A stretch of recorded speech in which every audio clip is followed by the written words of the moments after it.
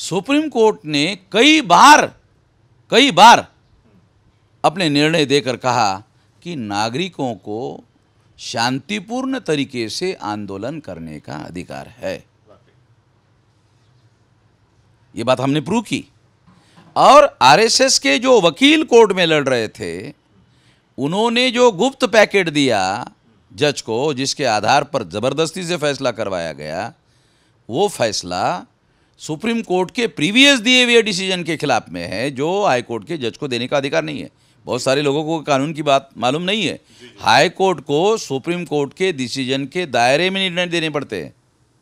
उसके पास supreme court के दिए हुए निर्णय के विरोध में फैसला देने का अधिकार नहीं है। ऐसा किया गया क्यों?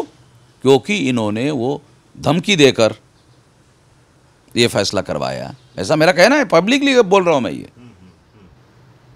तो मतलब आप मानते हैं कि जो सुप्रीम कोर्ट या तमाम जज जजेस जो हैं ये जगह जगह जो फैसले हो रहे हैं वो सरकार के दबाव में हो रहे हैं या आरएसएस के दबाव में हो रहे हैं या ये सारा कुछ इसी वजह से कोलेजियम की व्यवस्थाएँ रखी गई इसके लिए मैं कहने के बजाय जस्टिस रमना जो चीफ जस्टिस रिटायर हुए उनके फेयरवेल कार्यक्रम में जस्टिस रमना ने ये बात कही कि हमको टेलीफोन आते हैं धमकी आते हैं दबाव आता है। अब चीफ जस्टिस ऑफ़ इंडिया के कहने के बाद फिर हमारे कहने के लिए क्या बचा हुआ है? हमको कहने की क्या ज़रूरत है? चीफ जस्टिस ऑफ़ इंडिया खुद ही कह रहे हैं। कोलेजियम पे क्या कहेंगे? नहीं कॉलेजियम डेमोक्रेटिक सिस्टम नहीं है और दुनिया में कहीं पर भी नहीं है। एक कॉलेजियम की वजह से S C S T O B C minority के लोगों को रिप्रेजेंटेशन नहीं मिल रहा है। ये कहना कि S C S T O B C और माइनॉरिटी के लोगों में योग्य लोग नहीं है तो ये नालायकी S C S T O B C minority के लोगों की है, या पचहत्तर साल के आज़ादी में भी तुम लोगों ने उनको नालायक ही बना के रखा? ये तुम्हारी नालायकी है। ये मेरा सवाल है। तो तुम फिर तो राज करने के लायक नहीं हो। इसका मतलब है तुम राज करने के लायक नहीं हो तुम खुद ही कह रहे हो। देश के एस सी एस टी के पचास परसेंट से लगभग जिलों में जिलाधिकारी है। देश चला रहे हैं। ये कहना कि उनके पास योग्यता नहीं है, वो ऑल इंडिया की परीक्षा पास करके। यूनियन पब्लिक सर्विस कमीशन की ऑल इंडिया की परीक्षा मेरिट में पास करके आ रहे हैं। इस बात को मैं नहीं मानता। इसलिए जुडिशियल कमीशन बनाया जाना चाहिए, हायर जुडिशरी से लेकर लोअर जुडिशरी तक। और उस कमीशन में डिस्ट्रिक्ट जैसे डिस्ट्रिक्ट लेवल के जजेस नियुक्त तो होने चाहिए और उसको 10-15 साल के सीनियरिटी में सुप्रीम कोर्ट में ले जाना चाहिए। जब चीफ सेक्रेटरी तक कैबिनेट सेक्रेटरी तक लोग मिलते हैं ऑल इंडिया की परीक्षा लेकर तो इसमें क्यों नहीं मिल सकते? ज़रूर मिल सकते हैं। वहाँ परिवारवाद चल रहा है। मतलब कई चीज़ें चल रही हैं। परिवारवाद चल रहा है और जातिवाद चल रहा है मनुवाद चल रहा है ब्राह्मणवाद चल रहा है तमाम प्रकार का वाद चल रहा है। सिफारिशें चल रही हैं। कॉलेजियम जो है निर्दोष व्यवस्था है इस बात को बहुत सारे लोग नहीं मानते। हम भी नहीं मानते। और उसके बाद फैसलों के बाद उन्हें अब तो इनाम देने की भी परंपरा चल पड़ी। हाँ मतलब ऐसा ऐसा क्योंकि फिर वो अगर मान लो सरकार के फेवर में फैसले होते हैं जैसा अब ये है कई आंदोलन करने का मौलिक अधिकार होने के बाद में ये कहना और और आपको सुनकर हैरानी हो जाएगी कि वो पैकेट लिफाफा देने के पहले वो जज खुद ही उसको रोक रहा था। आरएसएस के वकील को। कि आप गलत कह रहे हो।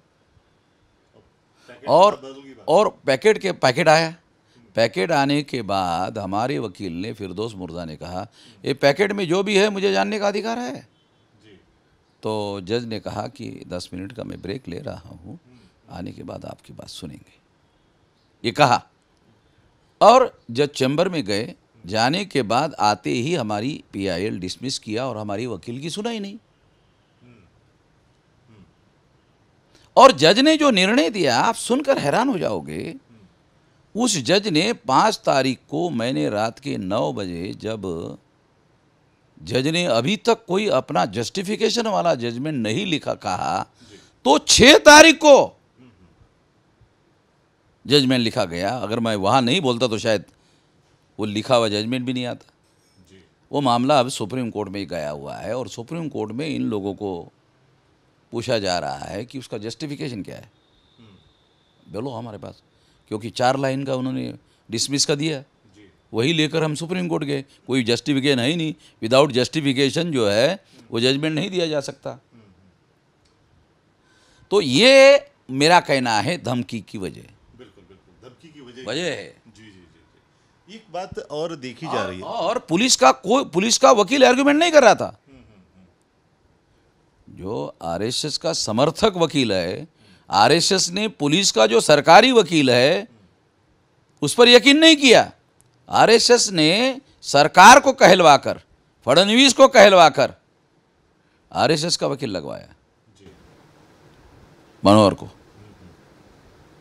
शशांक मनोहर का नाम जानते हो ना वो तो वेल नोन है तो आरएसएस का समर्थक आदमी करके नागपुर में सभी लोग जानते हैं।